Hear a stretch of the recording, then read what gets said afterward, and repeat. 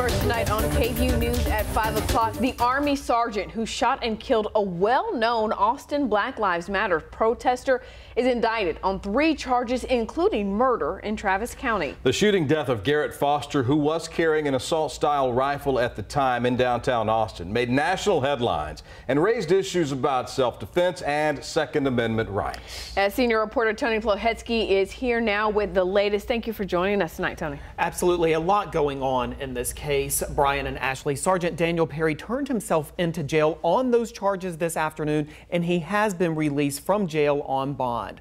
The charges include murder, aggravated assault with a deadly weapon, and a misdemeanor charge of deadly conduct. His bail was set at $300,000. You may remember this happened in July 2020 in downtown Austin along Congress Avenue.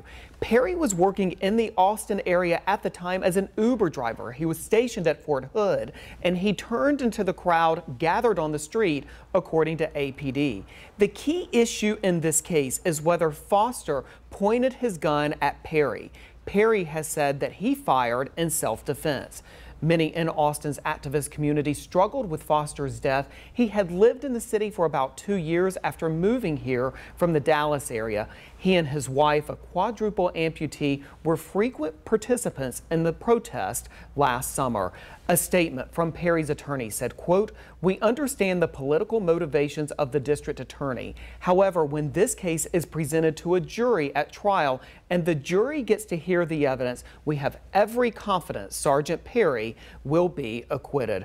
And Ashley and Brian, we will of course have more on this developing story at 6. The district attorney's actually called a news conference to talk about the case at 5.30 this evening. He has, Tony, and in fact, we're going to bring that news conference to all of you. That's right, Travis County uh, District Attorney Jose Garza will be holding that news conference today in about 30 minutes from now at 5.30. You can watch that on our website, kvue.com. Tony, thanks for being here. You bet.